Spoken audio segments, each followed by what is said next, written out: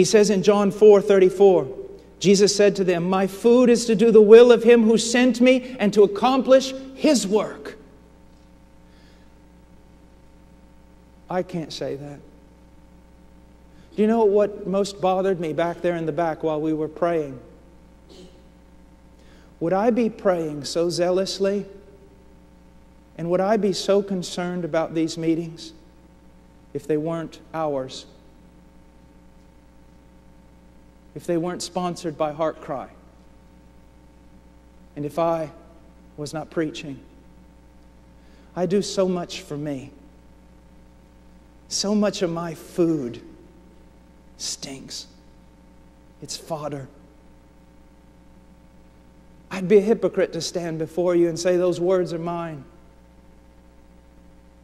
But Jesus could always say, My food, my sustenance, the thing I live for, is to do the will of my Father.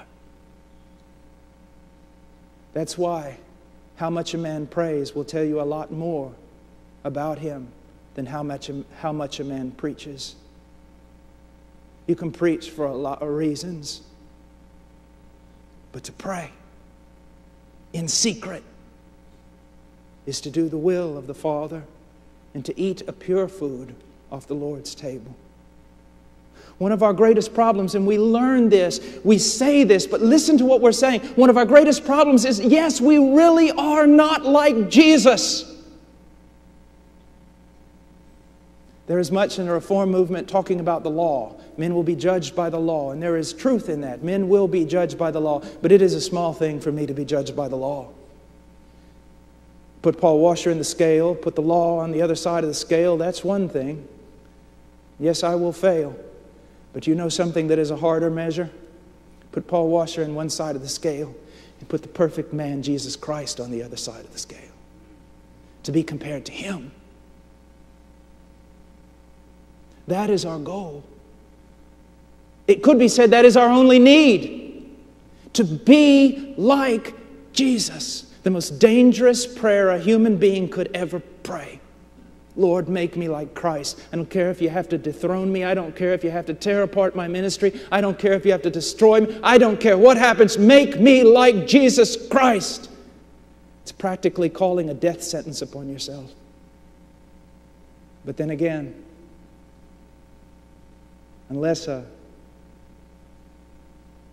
grain of wheat falls to the ground and dies, it abideth alone. But if it, if it dies, it bringeth forth much fruit. Is it not the great sin to take the matter into our own hands? And we've been taught that even in our own culture. Man needs a car, doesn't have money for it. What does he do? Well, goes to the bank, takes the matter into his own hands by his own initiative, and he gets the job done, and he's in bondage to it. Instead of a man saying, I, I, I need a car, I have no money, Father, I need a house, I have no money, Father. I want to do this thing in the name of Jesus Christ and in the ministry, but Father, I will initiate nothing. Show me, lead me, guide me. Absolute surrender to Him. Absolute surrender. It's not something I'm giving testimony about with regards to myself, but it is something I'm telling you about with regard to Jesus Christ. I want you to see him, yes, as God in the flesh, but I want you to see him as a man totally submitted to the will of God. And I want you to see that that is what you are called to. Prayer is a little thing unless this giant is first slain. It is the end of self will and submitting ourselves to Jesus Christ. There ought to be a way in which we could answer every question like this. Someone says, Well, why did you go there? Or why did you do this? The answer, Because I, I believed it to be God's will.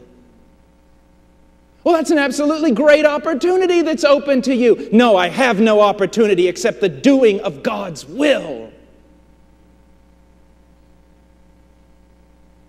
If all the doors in all of creation fly open and God says, Stop, then you'll bring glory to God by stopping. And you'll save yourself from a whole lot of peril.